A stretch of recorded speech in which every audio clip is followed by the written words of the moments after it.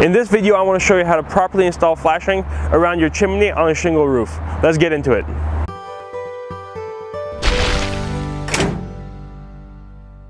In this video, I'm going to show you how to properly install flashing around your chimney. Chimneys tend to be one of those places that leak a lot. We're the roof repair specialist and we repair a lot of chimneys. So if done properly, chimneys flashing should last for years. Pretty much as long as your roof lasts, the flashing should last just as long. You should not be relying on asphalt, mastic, sealants to keep your roof waterproof. You should be relying on proper flashing. I want to show you the steps how to do that. Now in this demo, we've got a mock chimney built. We don't have the chimney wall up, but it's the same concept. Just imagine this wall going straight up. The flashing is gonna be the same. We're just working here because it's easier to show you and video the process. Let's get into it. Now we've already got our shingle installed all the way up to this wall right here. We install our shingles all the way up and whether it's perfectly flush or we've got two inches that needs to be covered, our metal here will cover this up. So we call this a 110 metal. It's been prefabricated to 110 degrees from the factory. This side is four inches and it steps up two inches. So this is gonna be installed right here. Now we've got a little bit of fabrication to do at these corners because really the corners are what matters and that's what we have to pay special attention to. So we want to push this snug up and um, Marco's going to demonstrate on how to properly cut it and where to make our markings. So he's actually using his tin snips right now uh, to make a line at a 45 degree angle.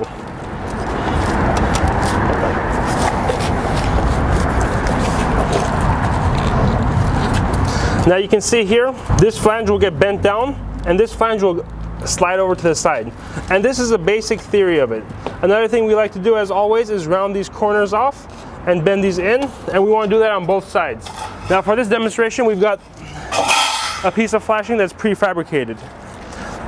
This is the same 110 metal, 4 inches and 2 inches, that's pre-cut. You can see here, the corners are rounded. All that's left to do is to bend this flashing nice and tight to this corner, and we're gonna do the same thing on this side.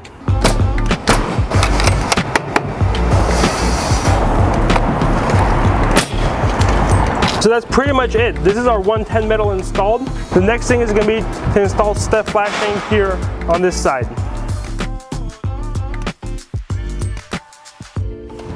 All right, now that we have our head wall flashing installed, the next thing to do is to install our uh, step flashing going up the side.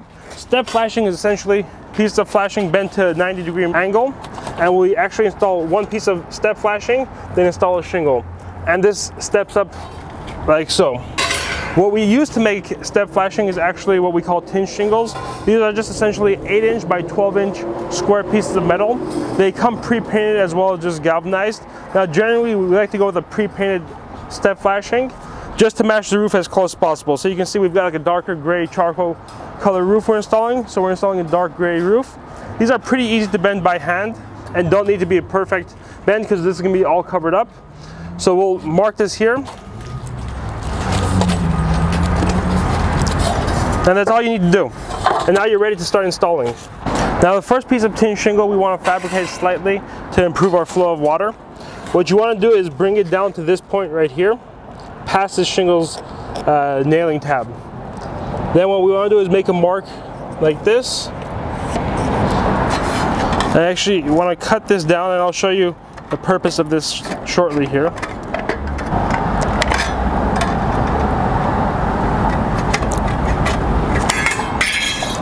And as always, we always want to round off these corners here, just for aesthetics and safety purposes. Just round it off slightly. Now the purpose of this is when we install it, it's actually going to help the water flow down, as we don't want water to get into this corner here. Because um, this is our vulnerable corner right here. So when we install this first piece, we're going to install some adhesive back here, some caulking, install this, and any water flowing down here is going to catch this lip and flow down onto our shingle roof. So this corner is re we really want to protect with some adhesive caulking. You can see what's going to happen now as we press this down. This joint is fully sealed. So any water that tries to get in here is not going to be able to. And I'm going to lift this up. Generally, we wouldn't lift it up. You can see that that corner is fully sealed now. So we've got our first shingle, tin shingle. Now we can install our first shingle up to it. We want to make sure that it's lined here. And we want to leave a slab, slight gap between the shingle and the step flashing to allow for drainage in this area right here.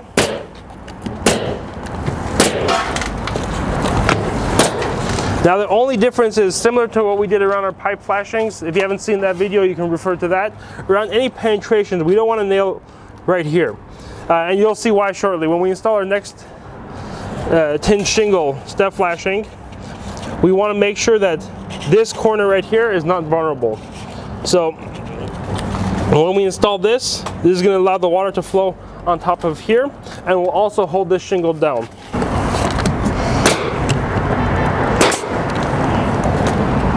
So that's it. Um, essentially with each layer of shingle, we install uh, a new piece of step flashing.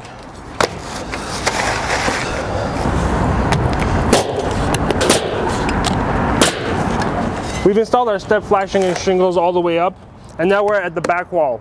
Um, we want to cut this and bend it over. Similar to the bottom, we want to make sure we have a good joint and good flashing between here and uh, this back wall right here. So just make a slight notch here.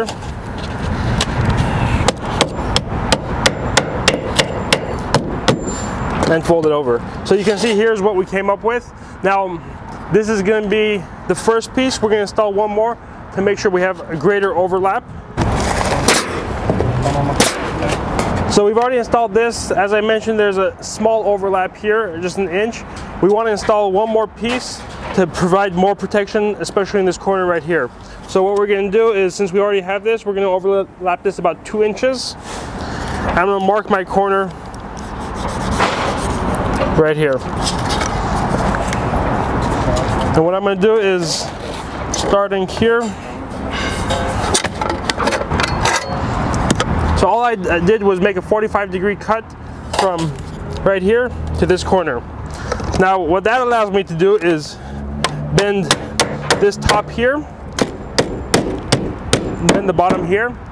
When I install adhesive at this corner, then install my saddle on top, it's going to provide for great protection in this area right here.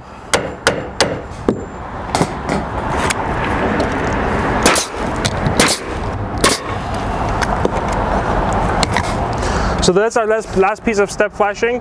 What we're gonna do is install one more shingle right here.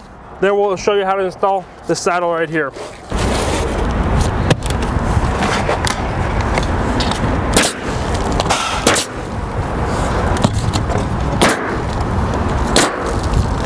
So we've finished the step flashing on this side. You can see we've got our shingles, we've got our step flashing.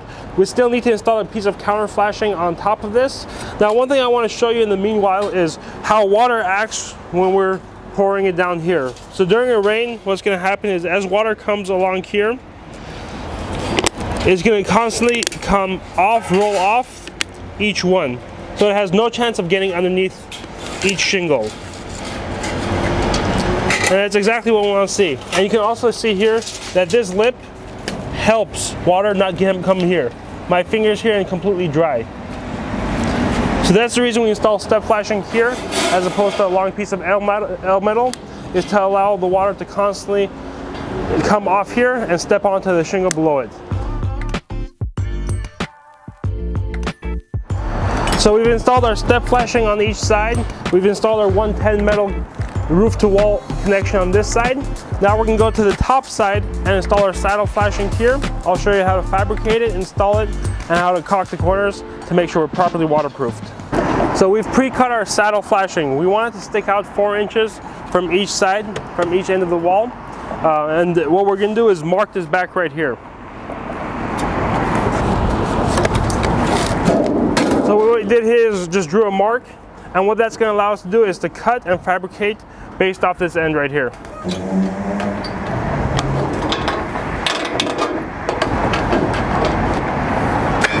Well, anytime when you're working with sheet metal, Make sure to wear gloves for this demonstration. I'm not, but these can be razor sharp corners, so be careful.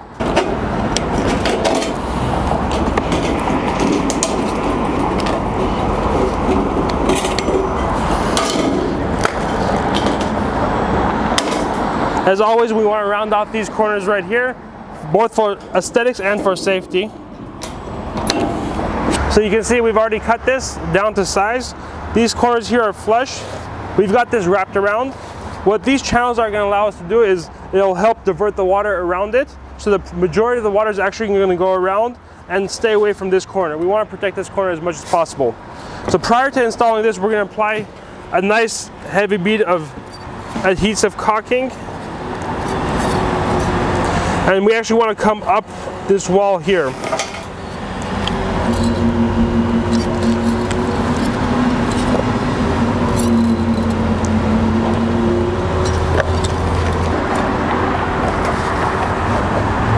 So you can see here what this adhesive has done is fully sealed this corner.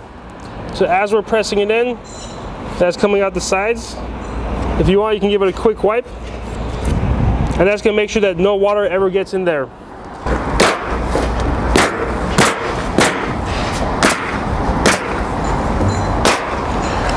So you can see what Marcos did was not install any nails here. We want to make sure this area is free of nails because as the water comes down, it's going to be diverted. We don't want any nails to have uh, nail holes to allow the water to get through. All right, now that we've installed the saddle flashing, we're install, ready to install the rest of the flashings. Uh, as I've mentioned in our video before on how to properly install uh, shingles, it's going to be the same nailing pattern um, just right on top here. We're going to align it with this shingle here.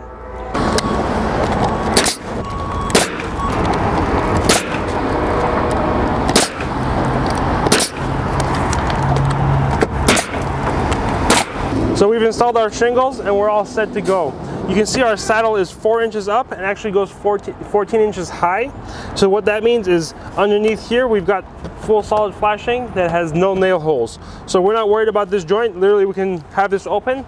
It still wouldn't leak because we've got solid flashing here. Now keep in mind, if your penetrations are wider than 30 inches, you're gonna wanna put a cricket and we'll discuss that in a different video on how to install a cricket. But if, in our case, we're under 30 inches, so we're not installing a cricket. Um, another thing I want to note is the gap between the saddle and the shingles. Whenever possible, you want to leave a little bit of a channel here to allow water to flow. If we had our shingles butted up all the way, it would prohibit the proper water flow. So now, in this case, we've got three to four inches exposed. It's going to allow our water to go around and properly drain. Guys, thanks for watching. We've got a lot of other videos on shingle roof installation. If we're missing something, let us know. We'd love to show you how to properly do the things that you want to do. Like, subscribe, and again, if you have any questions, let us know below.